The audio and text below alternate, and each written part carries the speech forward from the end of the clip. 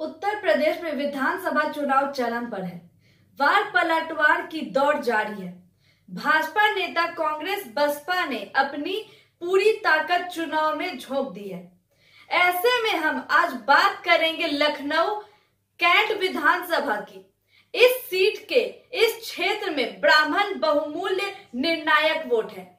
तो आइए जानते हैं एक नज़र राजनीतिक समीकरण पर। नमस्कार, मैं संजना भारती और टाइम फैक्ट न्यूज़ में आपका स्वागत है। लखनऊ कैंट विधानसभा सीट इस समय सबसे हॉट सीट बनी हुई है। इसकी खास वजह भाजपा के दिग्गज की नज़र इस सीट पर है। यह सीट भाजपा के लिए सुरक्षित मानी जाती है। ईपी की राजनीति लखनऊ की एक विधानसभा सीट लखनऊ कैंट है। लखनऊ विधानसभा सीट ऐसी सीट है जहाँ भारतीय जनता पार्टी और कांग्रेस की दोनों ही दल मज़बूत रहे। मज़ेदार बात तो यह है कि सात दफे बीजेपी और सात दफे ही कांग्रेस पार्टी के उम्मीदवार को जीत मिली है। एक तरह से देखा जाए तो सपा और बसपा को इस सीट पर कभी जीत नहीं मिली है। राजनीति पृष्ठभूमि पर नज़र डाले तो लखनऊ कैंट विधानसभा सीट आज़ादी के बाद शुरुआती दौर में कांग्रेस का गढ़ रही है। इस विधानसभा सीट से उन्नीस में कांग्रेस के श्याम मनोहर मिश्र, उन्नीस सौ बासठ में कांग्रेस के बालक राम वैश्य उन्नीस में कांग्रेस के चरण सिंह, साल उन्नीस सौ उन्नीस और उन्नीस सौ नवासी में कांग्रेस के प्रेमवती तिवारी और 2012 में कांग्रेस के रीता बहुगुड़ा जोशी कांग्रेस के टिकट पर विधानसभा चुनाव जीती थी। इस सीट को बीजेपी ने कब अपने पाले मिली आपको बताते हैं। लखनऊ कैंट विधानसभा सीट से बीजेपी को उन्नीस में पहली दफे जीत हासिल की थी।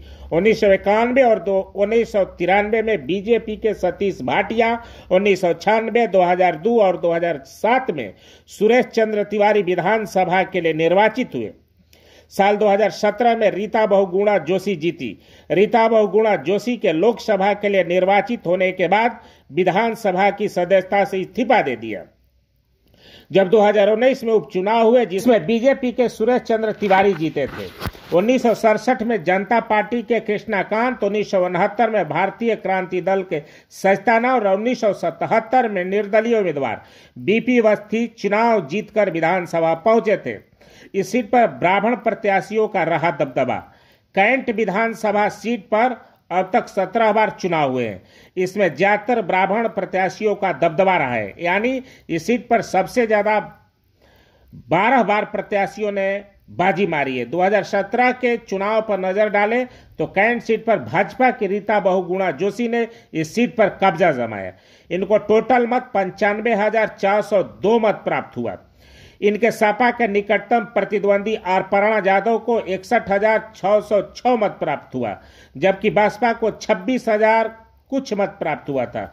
2012 के विधानसभा चुनाव में कैंट सीट पर कांग्रेस से चुनाव लड़े रीता बहुगुणा जोशी ने, जो भाजपा के सुरेश चंद्र तिवारी को शिकस्त दी थी। रीता बहुगुणा जोशी को टोटल तिरसठ मत प्राप्त हुआ था। वहीं बीजेपी को इकतालीस हज़ार मत मिला। इस सीट पर एक लाख पचास हज़ार मतदाता ब्राह्मण है। ब्राह्मण मतदाता अब तक बीजेपी के साथ देते आ रहे हैं। तभी तो रीता बहुगुणा जोशी के बेटे ने इस विधानसभा सीट में परशुराम की मूर्ति के ज़रिए ब्राह्मण वोटरों को लुभाने में लगे हुए हैं। इस बार लखनऊ कैंट सीट पर मुलायम सिंह यादव की छोटी बहू अपर्णा यादव के बीजेपी में शामिल होने के बाद इस सीट पर मारामारी की हालत हो गई है। वही रीता बहुगुणा जोशी अपने बेटे मयंक जोशी के लिए टिकट की पैरवी कर रही है। चर्चा यह भी है कि इस बार बीजेपी अपर्णा यादव को टिकट दे सकती है।